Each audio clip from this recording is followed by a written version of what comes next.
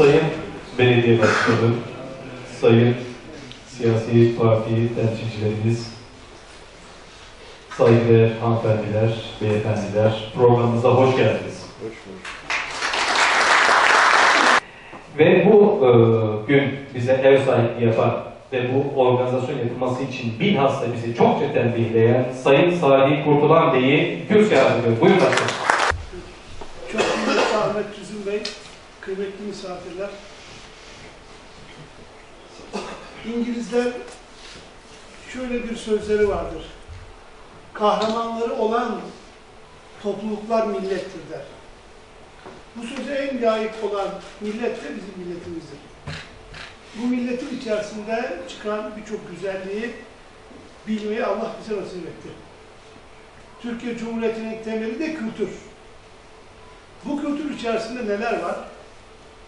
Sanat var, spor var, edebiyat var, şiir var vesaire çoğaltabilirsiniz. Bu kültürü ayakta tutacak iki özellik var. Kültürü yapanlar, kültürü yaşatanlar. Veya tarih yapanlar, bir de tarih yazanlar. Ahmet Tüzün Bey bu tarihi hem yazanlardan hem de yaşayanlardan. Bu özelliğiyle şu anda takdim edeceği eserleriyle birlikte hep beraber o sancılı yılların acısını çekenler adına ona hep beraber teşekkür ederim.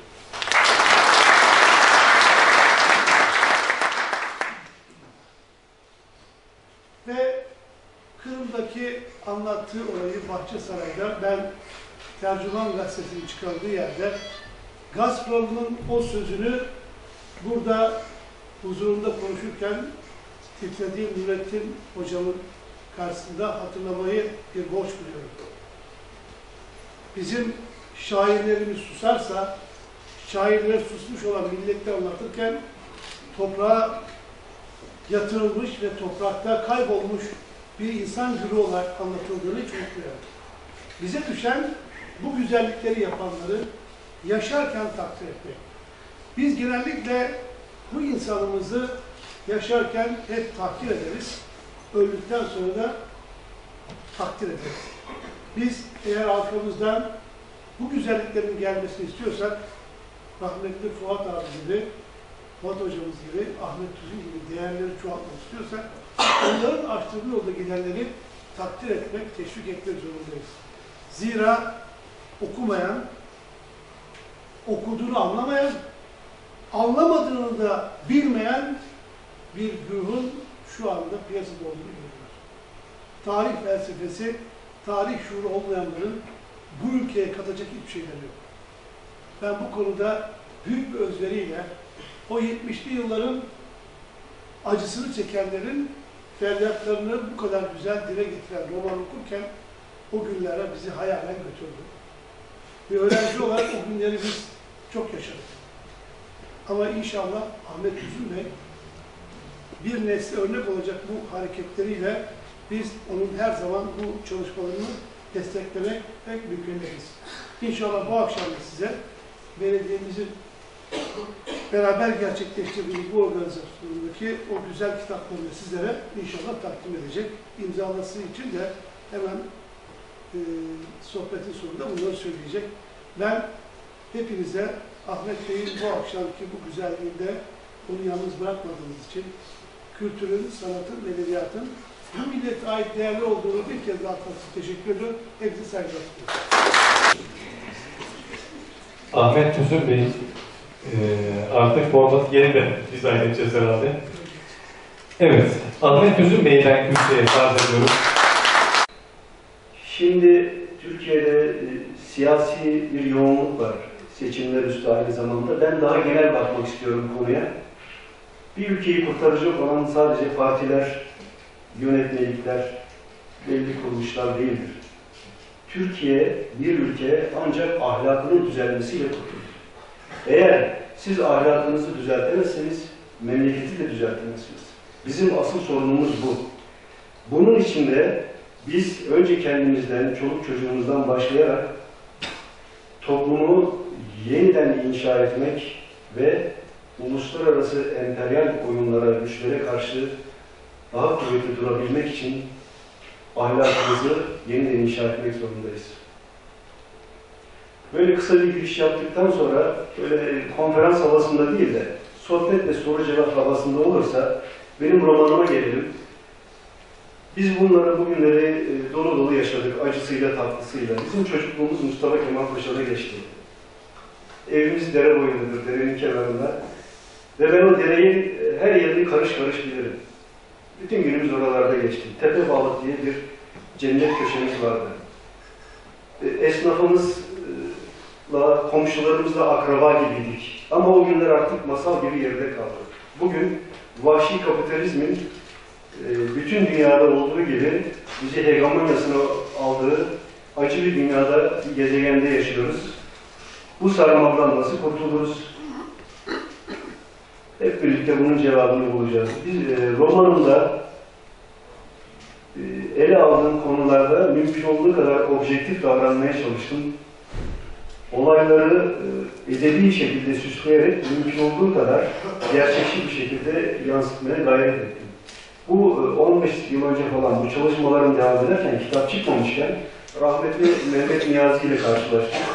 Milliyetçi muhafazakar kesimin çok üst düzey bir e, fikir adamıydı. Ona dedim romanını sorunca çalışmaları dedim Mehmet abi yani yazıyorum ama hep elim dedim ülkücü harekete doğru gidiyor biraz yani şey yapıyor. Bu dedi gayet normal. Sen rahat ol.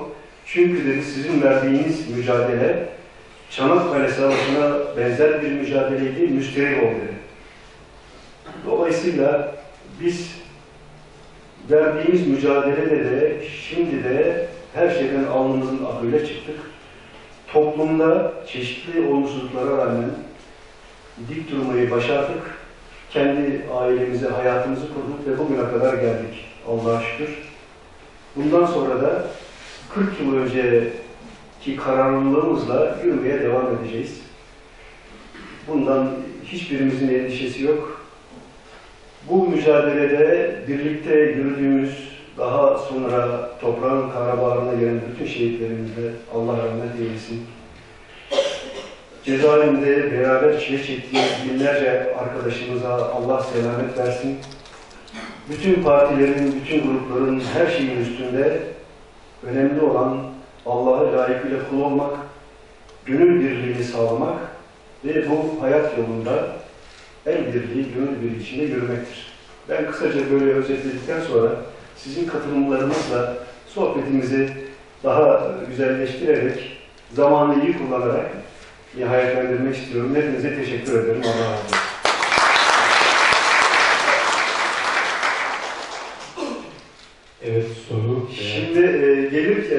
Bir arkadaşıma rastladım e, yolda.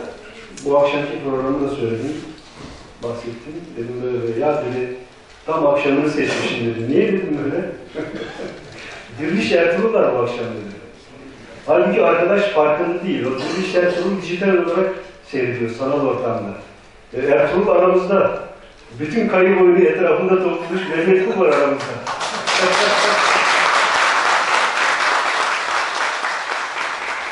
Ayrıca e, Sayın Belediye Başkanımıza da bir konuda özellikle teşekkür etmek istiyorum. Doğu Türkistan konusuna can gönülden sahip çıktığı ve billboardlarda buna yer verdiği için gerçekten çok duygulandım. Özellikle teşekkür ederim.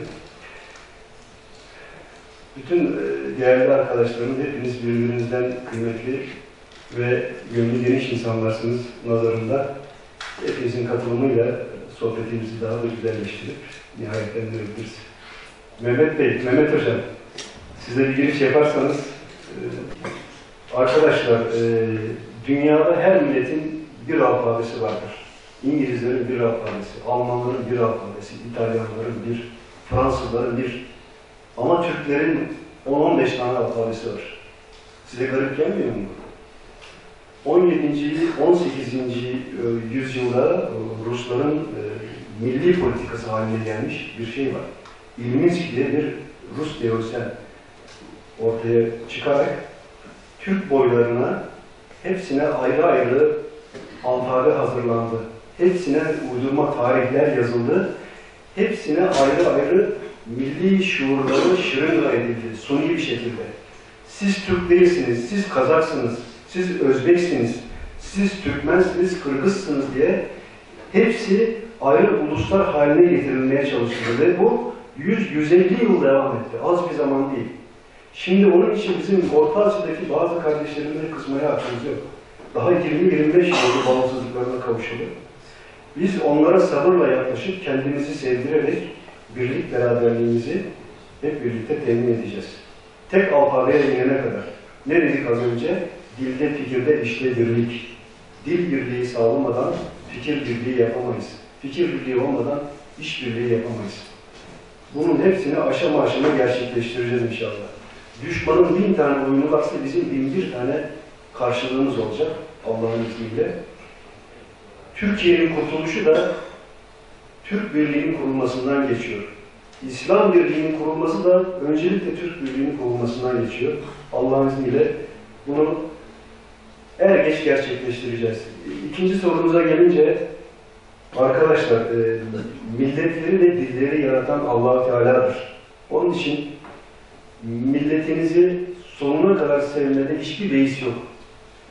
Biz Türk milletini can gönülden, yürekten severken başka milletleri aşağılamıyoruz. Ama kendi milletimizi seviyoruz, yüceltiyoruz. Bu şuna benzer. Mahallenizdeki bütün çocukları seversiniz. Ama kendi çocuğunuzu bir başka seversiniz. Çünkü Allah böyle yaratmıştır insanları. Ve milletleri de böyle yaratmıştır. Onun için yapacağınız yegane şey var. Türk milletini her bulunduğumuz ortamda yücelteceğiz. Onun yüceliğine yücelik katacağız. Ve asla to- toz kondurmayacağız.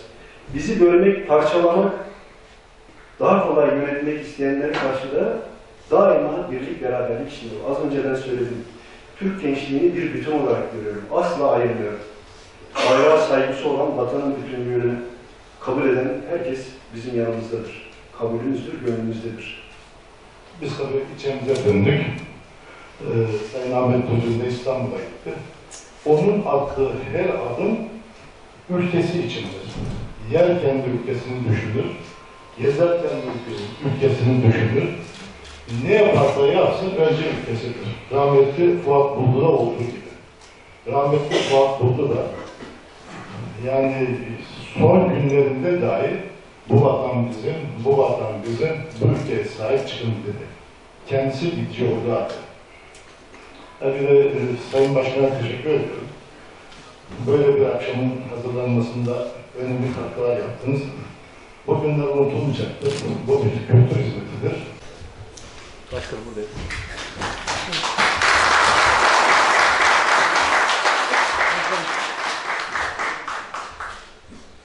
Ahmet Bey'i e, köşeye alalım. Orada ikramımız imzalayıp herkes versin.